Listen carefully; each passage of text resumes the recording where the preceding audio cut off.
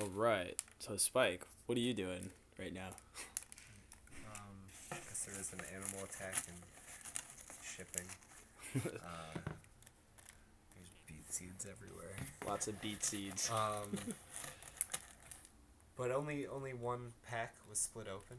Mhm. uh, Out of fine. the many million. an amazing an amazing donation. Yeah. Um,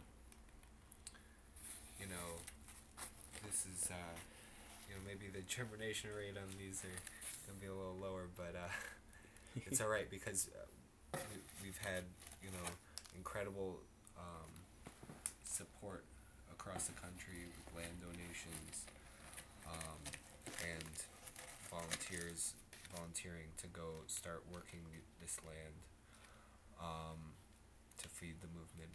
Um, this is a, is a crucial aspect of that is uh, being able to to have the seed to, to start these farms um,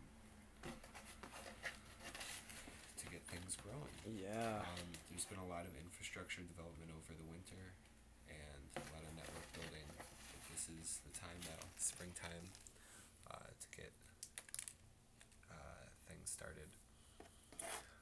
Um, Yeah, and we got a and then northeast, anyways. then we've got a whole nother box. Um, yeah, yeah. So th- all this seed is going to be uh, distributed to the many land projects that have been started, uh, connected to Occupy Farms, and um, we're really excited. Yeah. We're really excited to be uh, spending our time uh, working for the movement, uh, to be building infrastructure to support one another with their spare time. And we encourage everyone to be generous for their time and resources um, uh, to give back uh, to a movement that's uh, working to build a brighter future for this country and for the planet. we gotta definitely thank the uh, this is the United Farmers Organization uh, out of California. And they went to a lot of trouble to send us all this stuff, and so the, this oh this like sea of seeds makes me happier than anything I've ever seen. Oh, and we should show you some of these cool seeds. Uh, it's like legitimately better than Pokemon cards. So we've got so we've got some Edit that out. so we got radishes. I mean, like half the time we were opening is like, oh, what do you got? What do you got? it's like, oh, I got some. We got well, some of the black. We have like a black radish over here, Yeah, pretty Um, weird. A, a summer radish. summer radish. Uh, I don't know if we can find it in all the radishes.